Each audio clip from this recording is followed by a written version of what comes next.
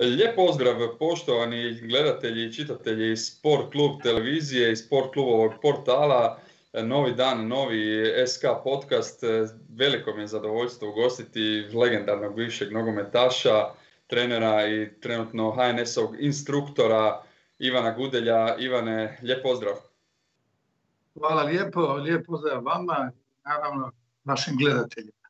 E, eto, prvo naravno da pitamo kakva je situacija sa zdravljem, izazovna teška vremena posljednjih nekoliko mjeseci s tim koronavirusom. Znamo koliko ste vi imali e, problema i muke kroz cijeli život, ali eto koliko ste mi rekli prije ovog javljanja da ste zdravi, je li to, je li to istina?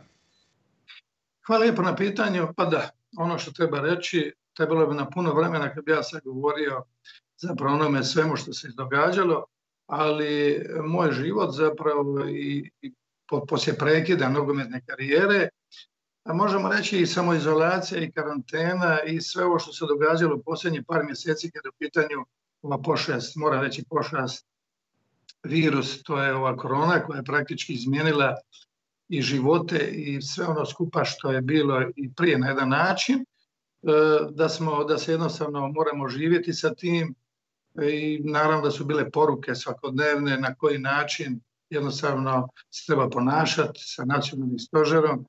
U tom smislu ništa nije bilo strano, jednostavno i dalje treba čovjek da pazi i osoba u smislu jer je zdravlje nešto najvrednije kad je u pitanju osoba. Kad su u pitanju virusi, isto tako moram reći ja sam zbog virusnog hepatitisa i virusnog projekta prestao i prekinio nogometnu karijeru. Da pa o tome bi mogao puno i pričati. U svakom slučaju, hvala lijepo, zdravlje je sada i kontrolirano. Ono što mogu reći u istinu da sam kroz cijelo vrijeme iza nogometne karijere i prekida kontrolirao uspješno bolest i na kraju je pobjedio. Je, evo, zaista znam, ima se puno pričati o tome, evo kada to spomenete, trnci me prolaze, vašu priču valjda svi nogometni fanovi znaju, ne samo nogometni sportski, ali idemo mi ovako, krenut ćemo s nekim aktualnim stvarima, onda ćemo se postupno dotaknuti te vaše zaista nevjerojatne životne priče. E, dotaknuo bi se naravno na početku hrvatskog nogometa, HNL je već neko vrijeme aktualan, krenulo se sa utakmicama polufinala kupa. Idemo s onom e, najlogičnijom stvari Hajduk e, ponovno iz godine u godinu problemi, ponovno se sada u posljednjih nekoliko kola pokazalo da to nije to, neke nestretne utakmice, nestretni porazi. Koje je vaše evo, opće mišljenje o Hajduku? Velika ste Hajdukova legenda, cijene vas u Splitu. E, Igor Tudor nakon dolaska, svi su mislili preporodit će Hajduk, sada to ponovno izgleda onako dosta nezgodno, porazi od, od Varaždina i Lokomotive su onako jedan korak unazad za, za ambicije bijelih da budu, bilih da budu na drugom mjestu na kraju sezone? Pa ja moram prije reći u Hrvatskom nogometnoj ligi koja je sjajna. To moram reći jer e, ona je, možemo reći, sve kvalitetnije u pitanju. E, zašto? Pa iz, takvi, iz klubova koji su organizirani, najprije bi u uvodu tako nešto rekao, imamo sjajne klube organizirane u kojem smo osuđeni naravno i Hrvatski nogomet na stvaranje mladih igrača. To je tržišna utakmica i tržište klubova koji možemo reći veći dio e, zarade i žive od takvih mladih nogometaša, odnosno proizvodnje ulaganja u školno. To je jedno i zato je Hrvatska nogometna liga i naša liga je sada stvarno, za mene ponavljam, super kvalitetna. Naravno, to su klubovi kao Dinamo, Hajduk, Osijek, Rijeka, Belupo, Lokomotiva. Govorimo, e, ne znam sam koga preskočio, ali mislim da su to klubovi koji u kontinuitetu, znači i tradicijom i kvalitetom i kontinuitetom praktički e, su klubovi koji su ozbiljni organizirani, koji imaju izuzetno dobre škole, izuzetno dobro rade i mislim da su odlično poslušni. Naravno, neizbježno je pitanje i vi što mi postavite Hajduku, kad je u pitanju Hajduk, mene emocije prorade, morate to razumjeti.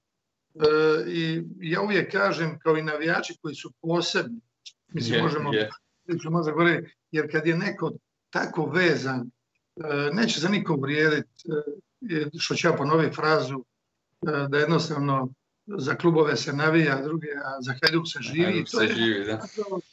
Mene su mnogi postavljali pitanje o nekim intervjuima koji nisu vezani za nekakve pitanja športskog karaktera u smislu rezultata i ovog svega, kako tumačiti odnos Hajduka i navijača. Evo je kažem, to je nešto što je, teško je to izreći, ali možemo reći da je to jedno stapanje koje jedno srce, jedno duše, jedno tijelo. To je nešto što je posebno. Pa i kad je Hajduk u ovakvoj situaciji, kad je u pitanju kriza rezultata, ona može biti prolaz. E, ja znam kad je u pitanju Hajduk da se očekuje, i ja to naravno očekujem i svi mi koji volimo Hajduk, koji smo emotivno vezani kao bivši igrači, bez obzira da li je neko u klubu kao nekakav funkcioner ili ima neku poziciju, jednostavno za Hajduka se živi i Hajduku želimo najbolje, ali možemo biti realni. Znači, da emotivno nekim rečenicama, izjavama ili u nekim analizama emotivno reagiramo, kažemo je, a naravno da Hajduk da se treba boriti za prvo To je apsolutno točno, da Hajduk mora biti dio Evrope, da li je to Liga prvaka gdje sad prigoda za ovu godinu da dva, znači da dva kluba, prvi i drugi ide u kvalifikaciji sa Ligom prvaka i to je e, po koeficijentu i zapravo to se izborilo i naravno postoji Liga Evrope u kojem isto tako govorimo da Hajduk, kao Hajduk i kao klub mora teži prema takvim ciljima. To je apsolutno točno. Slažem se, treba biti konstanta u Europa Ligi. Apsolutno. Isto tako treba postaviti cilje i kratkoročne i dugoročne. Da se razumije, e, jednostavno i prema tim ciljevima se ponašati. I ljudi koji vode klub i koji su dobili prigodu da ih se tako leko ne mijenja. Ja sam uvijek za kontinuitet, znači kad je postoji oscilacije, tim ljudima treba dati potporu, a ne jednostavno nakon dva, tri mjeseca ako se nešto dogodi, stvori se euforija od nekakvih obećanja i nekakve situacije koja je euforična, koja će preko noći dati neke rezultate, ili kad se to ne dogodi, da se to ne ispuni, onda je, onda je ona suprotna situacija dimetralna koja je katastrofa. Treba sve promijeniti, treba napada se svakoga, naravno da postoji kritike, postoji od, apsolutno da mora postoji odgovornost, ali se mora znati cilj. Ja smatram da je Hajduk u trenutnoj rezultatskoj krizi, ali mislim da ja ne bih paničario i ne bih e, e, stavljao nekakvi pritiskao alarm u smislu idemo sakidati nekome glave, neko je, pa naravno da se znaju i mislim da, da su svi koji rade, da su samokritični osobe koje rade, ja isto tako sam u toj fazi, nije to lako postići, ali jednostavno ciljevi se moraju znati. Ono što bi ja opravdao sa situaciju, na jedan način, dobro, to se veže i za druge klubove. E, Hajduk je u posljednji utakmici igrao prvo vrijeme fenomenalno, odlično i sad imao je 2-0, imao je par situacija još da, da jednostavno e, odluči utakmicu i tako dalje, ali onda se dogodi drugo vrijeme gdje se dogodi ta situacija koja je obrnuta i onda naravno kad se utakmica izgubi onda su to analize, onda je to jedna posebna situacija koja se prosjeda. Ono što treba reći, Hajduk ima i dalje šansu biti drugi, znači e, u ovoj godini. Isto tako treba biti strpljiv. Mislim da je odabir uprave dobar, odličan i kao trener isto tako. E, budući da je bila pauza dva, tri mjeseca, jednostavno je postavlja se pitanje, naravno, i same spreme i svega onoga što ta pauza donosi. Tako. Hajduk igra bez gledatelja, to je isto jedna situacija koja Hajduku na jedan način jer posebnom klubu za razliku od drugih klubova gdje navijači su jedan impuls i možemo reći 12 igrač u tom smislu da se osjećaju naravno i daju da onaj dodatni impuls koji je jako bitan. E, ono što je bitno da se ova sezona za mene u analizi nekakvu, da budemo strpljivi i da se ova privede kraju sezona po mogućnosti, ja još je vjerujem da će kraju biti drugi, i da, zašto sam optimist, reću vam, i da se naravno u miru, ako Bog da sve da bude i sama mirna situacija sa ovim koronavirusom, znači da. ta bude mirna situacija i da normalno život teče normalno, da se sportaši pripremaju kako treba, da klubovi budu organizirani, da publika polako može opet dolaziti na svoje. E, mislim da Hajduk ima izuzetnu perspektivnu moć. Ja sam zapravo sretan i komentirao sam utakmicu e, Hajduk e, Inter. Znači kad sam vidio da Momčan Igor stavlja većinom igrača malo Vušković. Moram priznati da vas prekinem, to je mene iznenadilo u prvoj utakmici nakon pauze. Dosta riskantan potez na kraju, jedva se, jedva se pokazalo dobrim jer Hajduk je jedva uspio pobijediti. Što kažete? Pa vjerujte mi, vjerujte mi sad jednu situaciju. To su dečki, ja, većinom sam ja trenirao kroz selekciju i reprezentaciju Hrvatske i znam ih. Znači, to su momci koji su rođeni 2000. i 2001. Znači, 2000. i 2001. Znači, govorimo od, sad kad ne braja, od dva lijeva fantastična bočna igrača, to je, to je mali, mali, mali Čolina, to je mali Doče, koji su sjajni, koji su u 19 reprezentativci, koji su sjajni oba igrača, talentirani, još nisu, toliko imaju potencije i potencijala, nadano se da oni još nisu eksplodirali u pravom smislu. Pa imate malo Brnića, imate Čujića, prvo godište, malo Gušković koji već igra, Kreković koji je 2000. godište, Mali Blagajić koji je 2000. godište. Imate Mio Saktaša koji je već i kapetan koji je iz te škole prošao. To je ono što je, je, je, je. Reprezentativac bio Češki u 17, dok sam ja još vodio, igrali smo Češke i zna. Znači, e, Hajduk ima mali Nejasvić, koji je isto tako bio standardan i fenomenalan. Je, lome se koplja oko njega malo sada, da, zašto ne igra toliko. Govorim o perspektivi Hajduka i momčadi, hrabrosti trenera koji stavlja i u tom smislu treba naglasiti, jes, to su mladi igrači, to su Hajdukovi, dečki iz Hajdukove škole koja je odlična, znači to je ono na čemu moramo uh, tražiti optimizam yeah, yeah, yeah. i sutra će se dogoditi standardizacija momčadi u kojoj će u određenom vremenu donijeti rezultate, pa nitko, pa i veliki, dok je veliki klub i klubovi koji ulažu, koji ne ulažu u mladinsku školu, klubovi koji kupuju, treba im vremena kad dođe jedan trener ili menadžer u, u klub, treba vremena da to posloži i da se ti momci priviknu da i na prvo rad trenera, na, njihove, na njegove sve karakteristike, njegove poteze, njegov rad i njegove zamisli zapravo u pitanju kad je u pitanju taktika i sve ono skupa što nogomet sadrži i u tom dijelu mislim da moramo biti strpljivi i da sam tu ja optimist i dajem maksimalno je, ovako, imam sad nekoliko zapažanja, zaista se sve lijepo rekli i e, zaokružili ste, ali je li sada pravo vrijeme za te, e, ta, e, taj pokušaj infiltracije mlađih igrača u ekipu? Eto, baš sam gledao nakon utakmice s Lokomotivom, Mio Caktaš je dao intervju za e, službenu stranicu Hajduka i bio je vidno razočaran na rubu suza, vidi se da mu to znači i to je zaista nešto što je jako bitno, ali rekao je jednu rečenicu, e, imamo zaista puno mladih igrača, ali možda to nije najbolja situacija u ovom trenutku, treba nam iskustva, treba nam rutine, pogotovo nakon, tih, e, nakon takvog vodstva protiv e, jedne momčadi koja se također bori za drugo mjesto, E, je li to problem što možda Tudor malo previše mlađih igrača odmah stavlja, a bori se za to drugo mjesto? I još jedna stvar, ovo što, dobro ste rekli, Hajduk afirmira te mlađe igrače i oni će biti budućnost Hajduka, ali hoće li doći do one, onog problema koje, koji često bude takav da se prerano prodaju ti mladi igrači?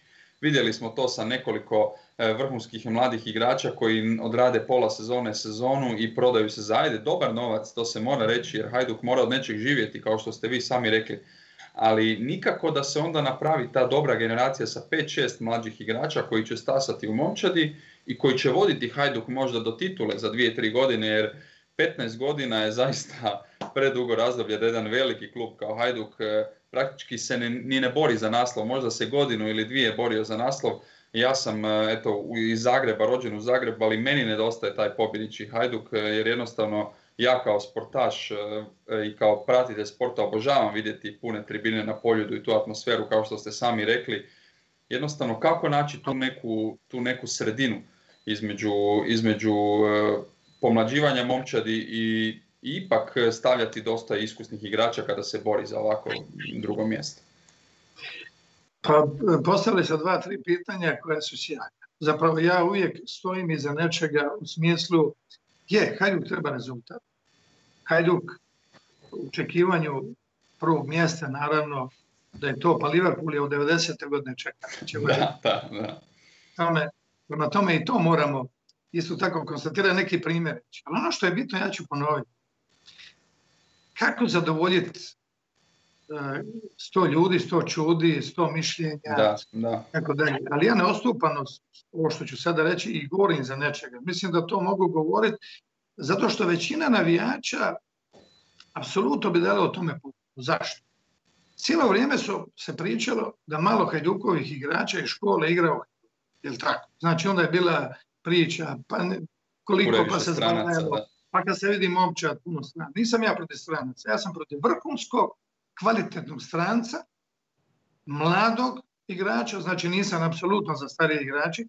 Zakon tržišta je apsolutno prevladava, to je pitanje dugo neko ćemo odgovoriti odlazak mladih igrača Da, da, da. Znači, ja sam uvijek za to, pa i generacija Ivića kad je bila 70. kad su bile, pa je bila jedna generacija sjajna mladih igrača, pa se isforciralo napraviti se rezultati, ako treba ovdje i sačekati.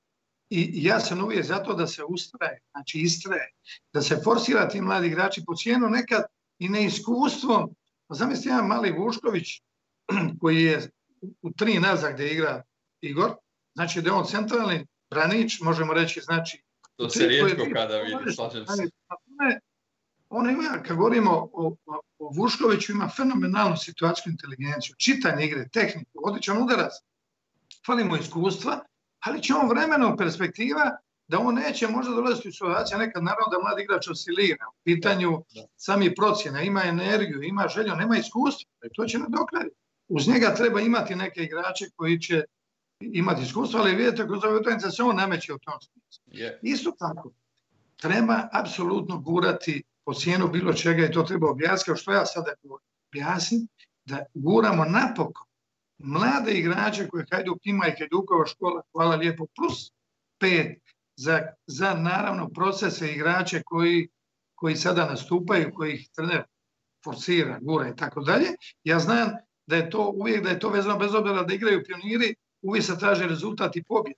Da, tome... mogu samo evo, nakratko prekinuti. Je li e, vaše razmišljanje možda tako zato jer ste evo, skoro 20 godina vodili e, mlađe uzraste reprezentacije vi uvijek imate te mlađe igrače koji taman trebaju izaći u seniore i koji vidite koliko su potentni, ali znate i sami da je situacija kada ste trener u klubu točno to, uvijek se prvo traži rezultat. Jasno da je, jasno da je e, stvaranje novih igrača isto jako bitno, ali ono što sam već postavio pitanje, kako naći taj balans? Evo, što Tudor može napraviti da nađe taj balans između e, infiltriranja mladih igrača i naravno rezultata koji je Hajduku zaista prijeko potreban? Pa doći, rezultat će doći. Evo sad je bilo 2 protiv Osijanja Da, da. Znači govorimo o tome, pa treba jedna pobjeda. Govorimo o pobjedi koja će dobiti samopouzdanje. Stvara se klima oko klima pozitivna, ako što ja sada govorim, pa ja ne osupam imalo, neko će možda mene prebacivati nešto, ja govorim, s vama pričam kao da sjedimo i tako razmišljam. Da, Znači, treba strpljenje i, i doće ta situacija. Treba nastavi raditi. I treba stvarno u ovom situaciji na način, ja znam, možemo mi govoriti sad i o situacijama, e, mogli bi izvući milion situacija koje su ovakve, ali ja, ja jednostavno sam optimist i u tom smislu treba podržati. Šta ćemo sad ako se dogodi drugo mjesto? Reći, jedno opet se ponavlja isto, pa evo, zašto? Ali ako smo mi u tom dijelu nismo dobili drugo mjesto, ja sad govorim što vjerujem da će Hajduk biti drugi, ali smo dobili pet mladih dobrih. Onda smo mi dobili više drugog mjesta, ali vamo se priprema za sljedeću sezonu. Pa to su ciljevi. Pa sad je bila pauza, sad je bilo i prvi pun je da mladi igrači igra. Ima trener hrabrost da ih stavi, da ne kalkulira. Apsolutno u situaciji kako kad se afirmiraju oni se afirmiraju definitivno kroz igranje seniorske momčadi, afirmiraju se kroz reprezentativne selekcije, apsolutno i mlađe i nacionalne, i afirmiraju se kroz klubsku Europu. To znači da je u interesu, zašto interesu svim klubovima da idu u Europu? Interesuje da se na takav način plasira mladi igrač na tržištu. Isto tako, treba napraviti planove kada kojeg igrača prodaje. Znači, ne od jedan put tri igrača ili dva. E, nego to je jako bitno, točno to, je sad, to, je jako to je sad politika kluba i da ti dalje ulažeš od tih novaca u mladsku školu da te dolaze drugi igrači. Zato smo mi osuđeni klubovi na proizvodnju. Drugo, pitanje koje ste postavili. Kada igrač i prerano ići u inozemstvo? Da, to mogu reći iz iskustva, jer sam se s tim susretao. Granice su pomaknute, tržište je neumoljivo.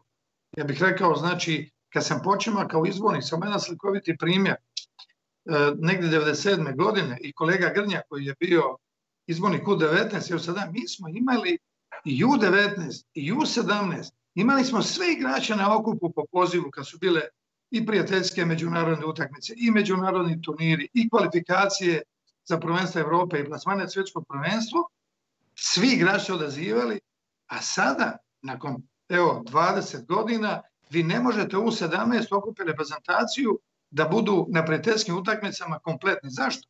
Jer je pomaknuto tržište, jer mladi igrači ide do seniorske momčadi i to je neki prioritet.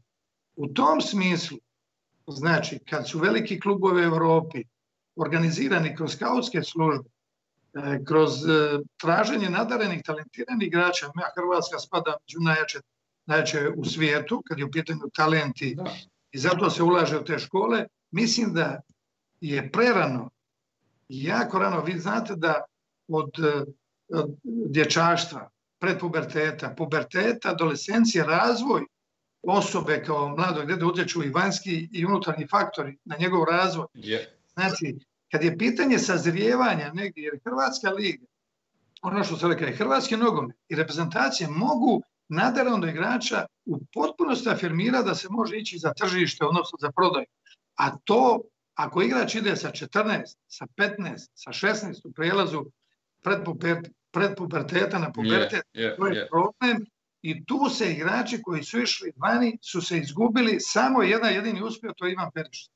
I donekle govorimo o Livaji koji je otišao mlad. Ali Ivan Perišić sa 15-16 godina, svi igrači koji su otišli tada, sami oni nisu uspjeli. Prema tome, pustimo igrače, to ja, to sad ne ovisi samo o meni, ja mogu iz ovog iskustva to apelirati, govoriti, klubovi rade nešto drugo, onda i roditelji moraju biti educirani na način, na koji način, da strpljenjem sa Hrvatskom ligom, sa, vi imate sad situaciju gdje je naša i druga liga odlična, pa treća, Liga, treća liga će biti za dvije godine jedinstvena treća liga, znači na razini Hrvatske, prema to će biti razvojna liga, gdje će, gdje će znači, ajmo reći da ukupno u tom smislu se razvija i u tom smislu mislim da treba vojiti računa i, igrač koji je u klubu, pa i roditelji i svi treneri koji vode na način kako usmjeriti i kada pustiti igrača, jednostavno da se afirmira kroz hrvatski nogomet i da u pravo vremenu odlukom i klub i igrač da i naravno dobije hrvatski nogomet da taj nogometaš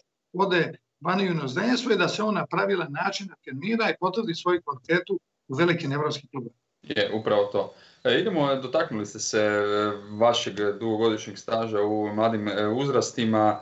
Možete mi reći koji vam je igrač e, na prvu kada ste ga vidjeli znali da ste da će napraviti karijeru? Je li to bio Luka Modrić, je li to ne znam bio Marcelo Brozović?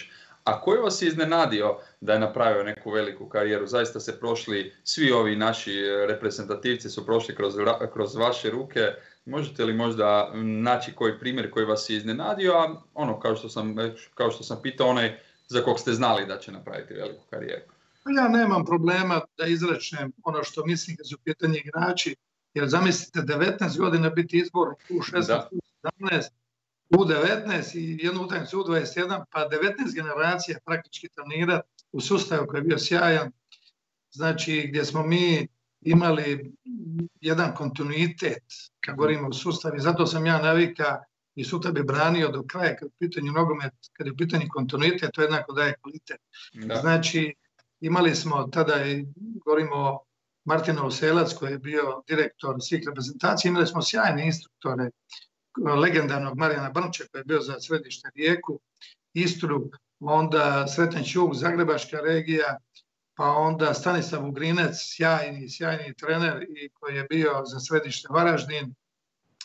E, tako da Grnja Ivica, legenda Osječka, yeah. bio za slavonski dio, ja sam bio za dalmatinski, znači pet instruktora sjajnih, naravno kako su neki u mirovini išli, pa to imene sutra čeka, pa da se dolaze i mlađi, Mladena Ivančića za riječki dio, e, Sergeja Milivojevića koji je umjesto Ugrinca za varaždinski dio, je, to su sve imena koja su jako bitna za hrvatski nogomet. Ljudi ih možda ne znaju. E, moje, moje koji, je, koji je umjesto Krpana, koji je sad glavni instruktor, e, koji je za slavonski dio, e, pazite jednu stvar, instruktorska služba to nešto, instruktori su bili izbornici, to bi jedan sustav, jedan, jedan ovaj, jedan kvalitetan, najkvalitetniji sustav, ja sam to jedan sustav koji je bio najkvalitetniji sustav u Europi, jer je od 100% igrača koji su u reprezentaciji završili kao u reprezentaciji, praktički osim Raketića sve je prošlo selekcije u 13, u 12, u 14. Ne zaboravite da kroz taj proces ostvaranja u 15 selekcije, do 16, 17 reprezentacije, da su svi igrači prošli taj proces. Da, da. I da, eto, od, od tih svih ono, igrača... Imate, tako, vi imate 21 županijskog instruktora. Vi imate, u Dalmaciji imamo nogometne centre u samim županijama. Je, je. Vi imate, znači, trenere koji su u bazi i direktor škola kojima treba skini kapu, treneri koji rađe u mladim dobnim uzrastima, oni su kao apostoli, ja ih zovem, koji rade svaki dan i koji u, u, u bazama i u malim sredinama nalaze talentirane mladiće. Je, znači, to je jako to je ono i što nama daje što nama daje sutra taj kvalitet. Ja mogu reći da sam vodio najosjetljiviji uzrast, to je u 16, znači prelazak u ono što govorim pred, pred pubertet i pubertet. Ja mogu reći nabrojiti stvarno one igrače kojima, kojima ja dajem neke za mene koji su bili stvarno izuzetno talentirani, neki talentirani koji nisu postigli svoju kraju dobro Modrića tu apsolutno izvajamo, on je nama prošao i kampove, kao da, ja sam da. instruktor bio izbornik, znači instruktor bili izbornici u Zadarskoj županiji gdje je bio profesor Zurak, gdje smo mi održavali kampove, Luka je bio svoje desete godine po Korčuli, da smo imali kampove, tako da je bio posle sa selekcije županijske, selekcije središnje. Da, da, da. To, to malo ljudi, o tome se i ne priča i znaju i kako je taj nogometaš došao u situaciju s kojeg procesa. Prema tome, treneri koji rade u bazama, pa stvarno ih, ja ih izuzetno cijenim, yeah, yeah. onda se preko se dalje.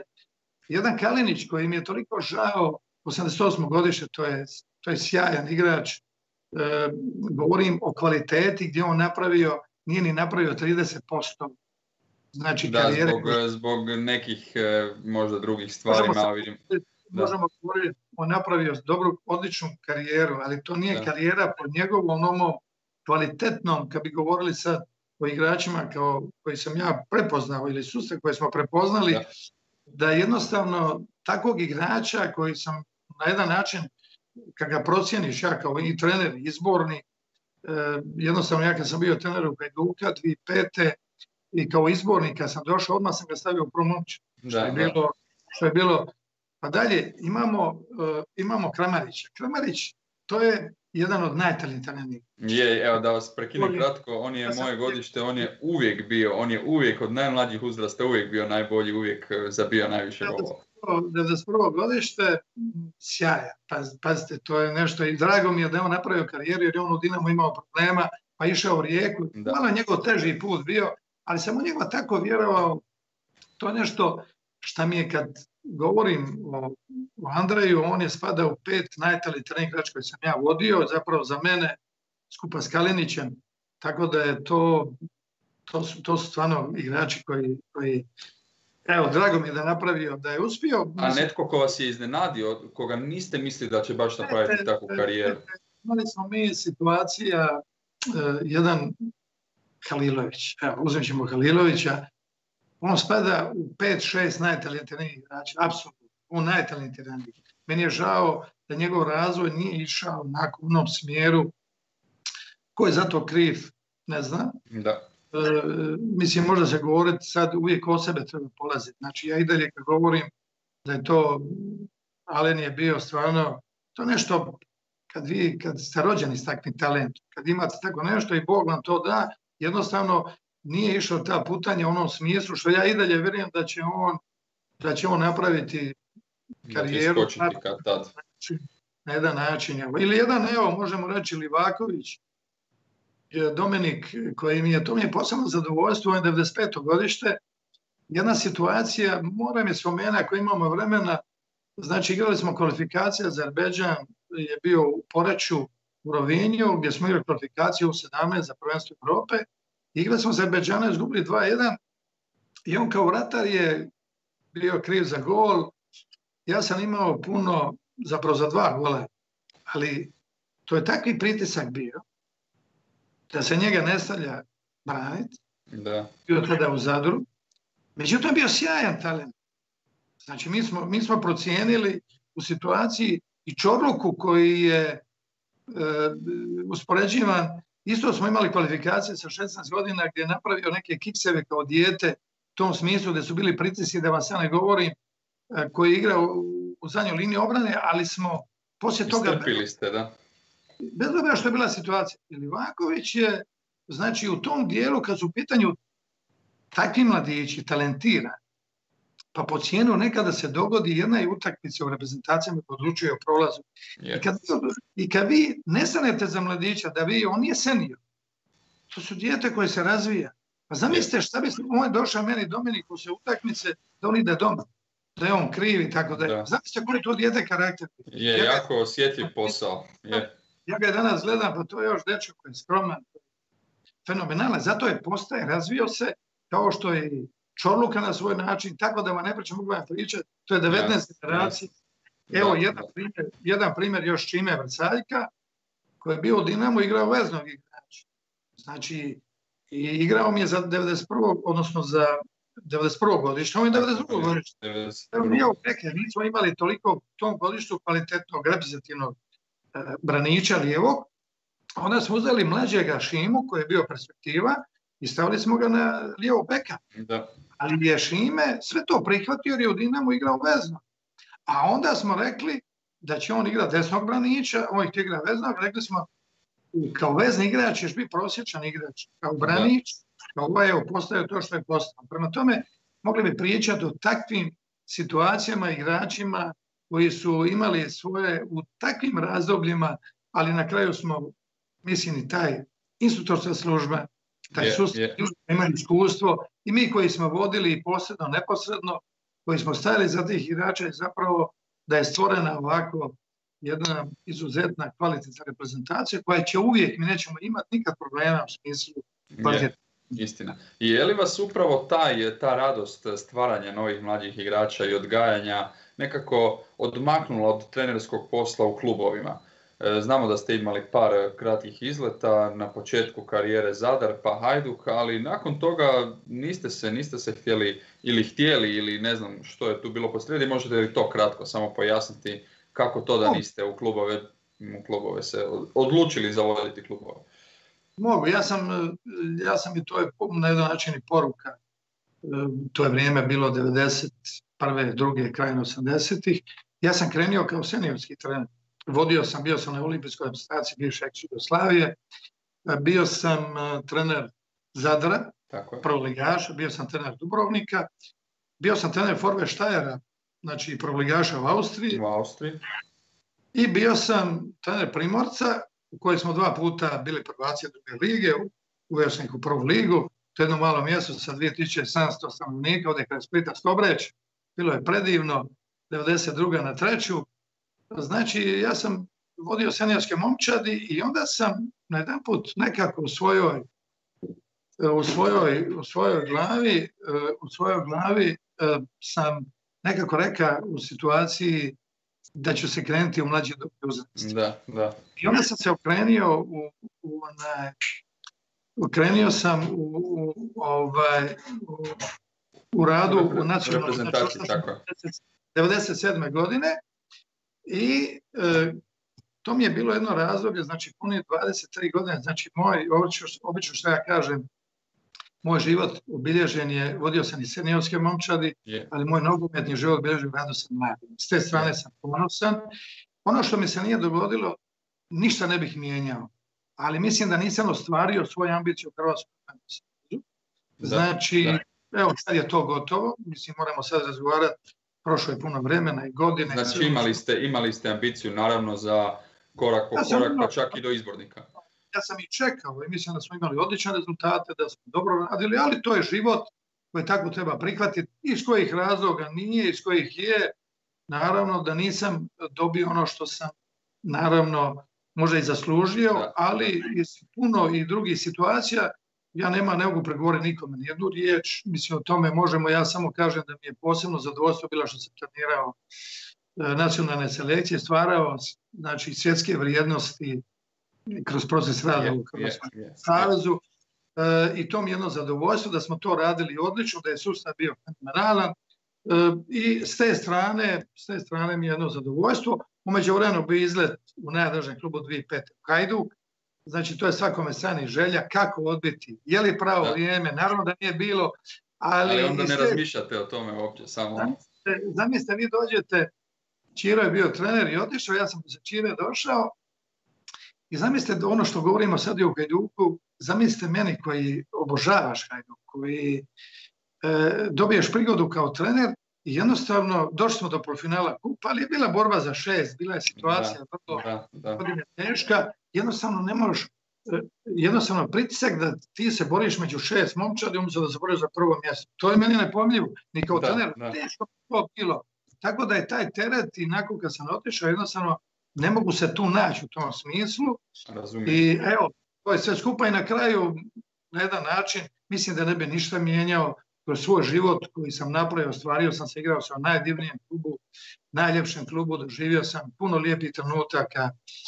U tom smislu ne bi mijenjao ništa, a ono što bih jedino da se vratim kao sad Superman i kad zatvori noći, e, šta ti navijači su zaslužili, ja kao igrao sam osvojio jedno prvenstvo i dva kupa, da. E, što kad Juku nedostaje, da smo mi 80. generacija koja je bila sjajna, premalo trofeja, da smo još trebali biti do tri puta prvaci Jugoslavije, jedan do dva puta osvojiti kup UEFA i kraj 70. na utakmici s Haburgo, ta generacija biti jedan po prvak Evrope. Zapravo jedan evropski trofej, da ja sad se mogu vratiti kao supermen i to mislim da bi, da bi, da bi, to, da bi to bilo zapravo i mislim da klub kao što je Hajduk zaslužuje jednu evropsku titulu, da smo je generacije koje su bile sjajne. Da, da. Evo, e, leti vrijeme, imamo još nekih 15 minuta, naravno, eto, nismo se na početku dotaknuli te vaše nogometne karijere, sjajne nogometne karijere do jednog trenutka, do tog naprasnog trenutka koji je e, koja je prekinula je vašu karijeru ta bolest, hepatitis. E, možete li, ajde ukratko to opisati, znamo da ste to valjda milion puta prošli, kako je, bili ste na korak do Real Madrida, baš ono ostvarenje svih snova, igrali ste za reprezentaciju Jugoslavije. E, znam da ste rekli e, ne biste ništa mijenjali, sretni ste sa životom, e, zaista ste ostvarili mnogo, ali evo kratko, kako uopće komentirati to, kako, kako nekako prokomentirati to da vam samo u jednom trenu sve, sve stane, zaista teška situacija. Pa gledajte, vrijeme ide. Moj, moj život, nogomet je prestao prije skoro 30 godina. Zamislite sad pričamo sad. Da. On je, specifi, on je specifičan. Specifičan je jer zamislite prije se nije moglo ići do 28 godina. To je jedna situacija. Meni se dogodilo u 26 godina. Ja uvijek kažem i volim reći i ponavljam to uvijek.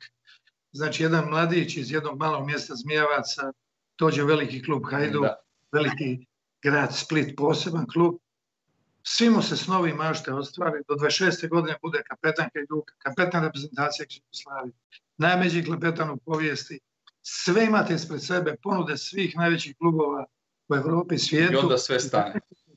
U jednoj sekundi zbog bolesti svijet vas sam srušio. Kako jednom mladom čovjeku. Znači, taj nogometni dio, ja sam to sad prošao onako brzo, kao da pričamo, vjerujte mi, ja kad govorim ili pričam kroz promocije, kad radim, i kad se gledaju ti golovi i sve, ja kao da gledam nekog drugog. Ja sam to uspio tako na. I to je moja... Ono što nije lako bilo, taj drugi dio životne priče koje volim pričati, da sam ja tri godine se borio za ozdravljenje kroz... E to, ta, ta situacija, ako možete malo pojasniti, jako teško je nositi se s tim. To je šok. To je jednostavno, zamislite da vi ne možete raditi nešto što najviše volite. Ja sam u životu i uvijek i kroz igranje unosio emocije i strast. Te dvije riječi, ako i ne unosite u bilo koji posao, ne možete uspjeti. Znači ja sam tri godine bio kod travara, bio energetičara. Ono što sam prošao, to bi mogao pričati satima, ali ja ću kratko reći tri godine borbe kroz alternativne medicine. Pokušavali ste se vratiti e, nogometu. Pokušavao sam se vratiti nogometu. Uvijek mi je bio cilj zdravlja ta, zamislite, izgubite zdravlje, i ne morate raditi nešto što najviše voli. Da, u 25. 6. godine. Ja sam uspio nakon tri godine u svojoj glavi zapravo uspjet da jednostavno shvatim da sam iskontrolirao bolest kroz tri godine borbe za povratak, ali jednostavno nisam uspio do kraja se izboriti da se vratim na teren. U tom trenutku sam rekao jednostavno ulaziš u normalan život, socijaliziraš se, tražiš završena nogomet karijera, to nije jednostavno ni lako.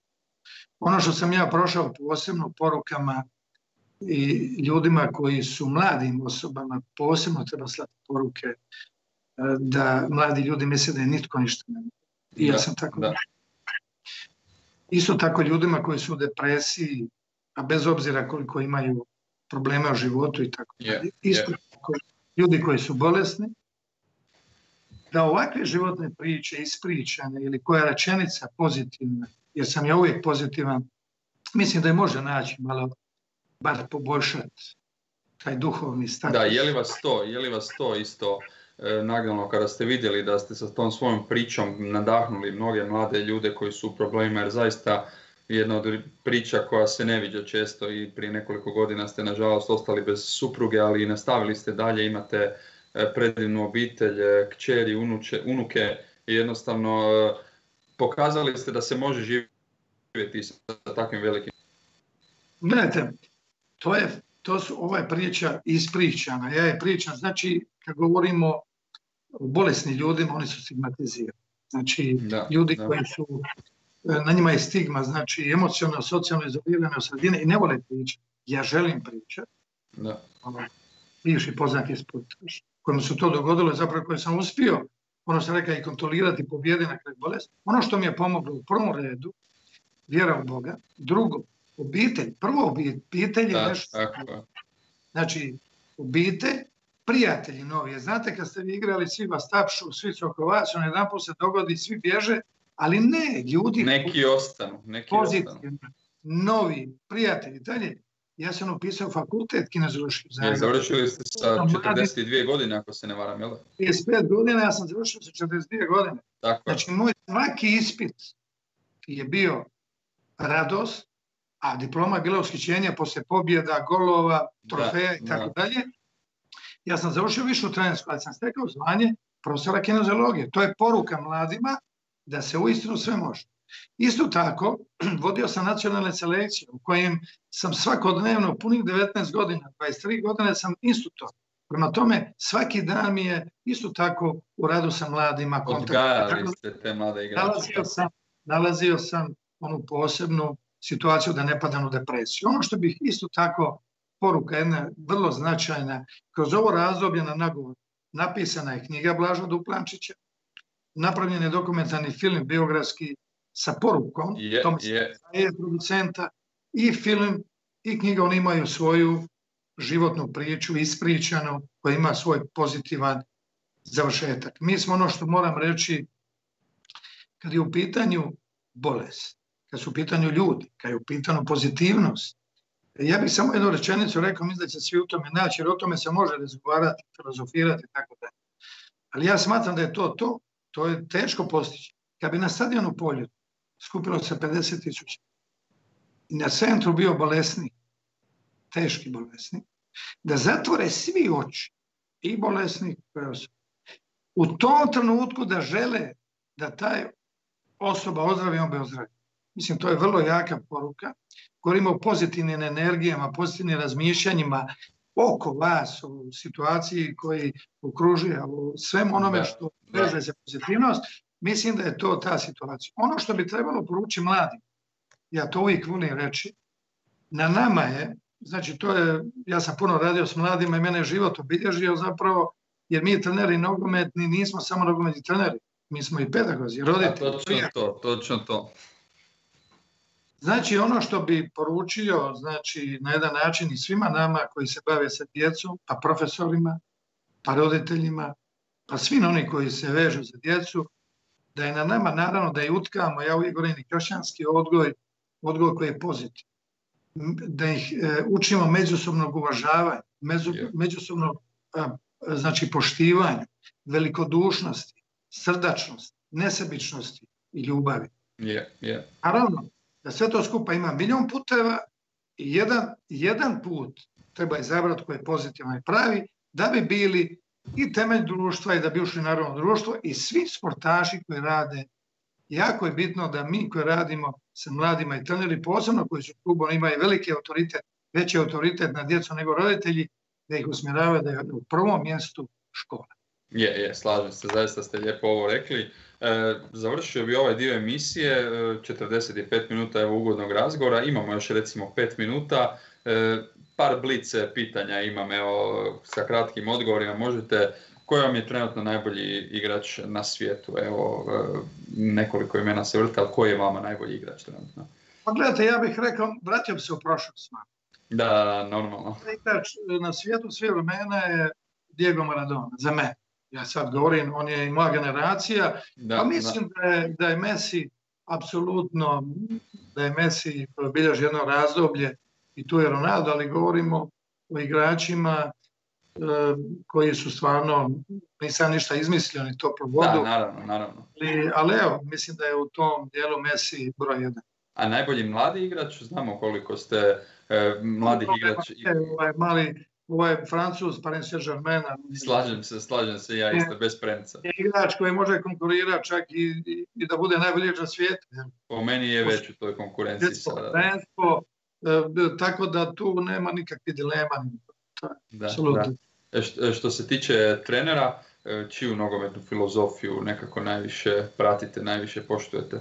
Što se tiče trenera, čiju nogometnu filozofiju najviše cijenite, najviše poštujete, ja, pratite? Bez sebe, prije kažem, meni je Liverpool sjajan, predivan, klop, trener broj jedan i zapravo takav način igranja sam često upotrebljava, rekao, osim naravno e, pasa i naravno posjeda. ali ta agresiva i taj... Da. Agresiva, polukont, a mislim sve, pazi, i visoki pritisak i polukontra i sve ono što je, znači, e, atomski pravi nogomet, ono što mislim da je, kad govorimo i filozofiju, koji je i posložio jednu momčad koja je sjajna sa individualnim igračima, sa takvom, e, takvim, takvim modernim, zapravo možemo reći takav način igre u njemu je sve. Znači ono kad je u sve skupa i mislim da je taj način približno, jer mi kad govorimo o Hajdukovom, kroz povijest, Hajduk uvijek imao takav sličan tip igrača. Pressing je brze igrače, igrače koje znaju sve ono što je bilo. I vi ste bili jedan od takvih igrača, tako da vam je vjerojatno zato to tako.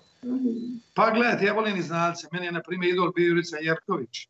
Da. E, volim igrače koje znaju igrati, isto tako. Naravno i ukomponirano ono sve skupa što, što daje, što treba uklopiti u momčad. Yeah. Ali bez igrača koji znaju igrati, koji, naravno danas je, nije samo dovoljno znanje i moć, ali oni igrači koji imaju rješenja, koji u, u trenutku nešto šta vi možete sve pripremiti, pa čak i u datom trenutku ne znam šta će nabuti. To je trenutak jedan, to je ono što im Bog da. To je nešto što igrač ima. Znači, da, mnogo je kolektivna igra, ali na kraju opet presuđiva pojedinac. Je, je, slažem se, slažem se, slažem se. E, najbolji trener u HNL-u? Pa gledajte, u ovom momentu možemo reći da je to bio Bjelica koji je otišao, definitivno, jer je pokazao jedan kontinuitet, napravio sjajne rezultate s Dinamo, ali isto tako treba naglasiti kontinuitet Tomića, koji je... Stra, e, odličan posao radi, bio je upravo sa mnom u podcastu. I... Prema tome, evo, i taj nogomet afirmira i odlične igrače i afirmira i odličan trener. E, evo, još dva kratka pitanja. E, najsličniji igrač vama eto, u ovom trenutku u svijetu, imate li možda nekog koga e, vidite sebe u njemu? Pa ja, jednostavno, ja kada nogomet nisam. Evo sad da vam kažem, možda mi nećete vjerovati, pričam ili pričam kad pričam sebi, jer sam ja uspio to odvojiti dva različita životna razdoblja, moja od prekida karijere i drugog životnog dijela. Više sam volim pričati o drugom životnom dijelu, pa bi to volio neko drugi da iskomentira. Ja, može, može. ja mogu reći, kad iz nekih statistika nisam ni znao, e, dok knjiga nije napisana i Blaž Duplančić, moj drugi prijatelj, pa u neka statistika nisam išao zatim, kao zadnji vezni, ja sam bio zadnji vezni igrač, da sam ja, post, da sam ja treći najbolji strelac duga svih vremena u evropskim kupovima za Zlatka Vujevića Žungula koji su bili napadači. Da, da, da. Pa se da, da. da je pokojni Biće Mladinić uvijek znao reći u vrijeme gdje je Jugoslavenska liga među pet bila sigurno od 3 do 5 liga najjačih u Evropi i svijetu, da vezni igrač e, kad postigne od 8 do 12 golova u sezoni, da je sezoni to... je strašno, slažem se. Da govorimo da je to negdje evropska klasa, negdje možemo jedan od kriterija. Slažem se. Evo i posljednje pitanje, e, najbolji igrač u HNL-u u ovom trenutku. Najbolji igrač, najbolji igrač HNL-a, evo, to je zadnje, u ovom trenutku. Ha, mislim e, da, pa ima tu par igrača, bih rekao da je Bruno Petković za mene igrač koji je stvarno napravio jednu sjajnu karijeru i jedan napredak, znači napadač koji ima i svojom konstitucijom ima sve. Znači ima i tehniku, ima zadnji pas, ima osjećaj za gol. Meni i Mio Caktaš koji mi je, moram reći da je isto sjajan, da je drži momčadi kao kapetan, da je isto sjajan igrač, ali mislim evo, ta dva igrača po meni su za mene, evo, možemo reći, mogli nabrajati, ali mislim evo, dovoljno je dva igrača. Može. Eto, prošlo je ovih 50, 50 minuta zaista u ugodnom razgovoru sa legendarnim hrvatskim igračem, trenerom i instruktorom e, e, Ivanom Gudeljom. Bilo mi je zaista veliko zadovoljstvo. E, gospodine Gudelj, eto, nadam se da ćemo se još koji puta vidjeti u ovakvim sličnim emisijama. Pa hvala vam lijepo, ja samo nisam rekao jednu rečenicu, moja draga obitelj, to sam malo, ne da sam preskočio, ali da Noemi, Gretica, Ivana i Đana, Čergice, to je ono što je mene, evo ono što sam rekao, jednostavno da u tom smislu sam ostvaren i zato živim. Je, je, je. Evo, mogli smo pričati satima, tako, puno toga, tako. ali bilo mi je isto tako ugodno, još jedan put i vama pozdrav i svim, i svim ovaj, gledateljima. E, poštovani gledatelji, eto, bio je to još jedan e, Sport Klubo podcast, ostanite naravno i dalje uz e, naš portal, uz našu televiziju do sljedećeg slušanja.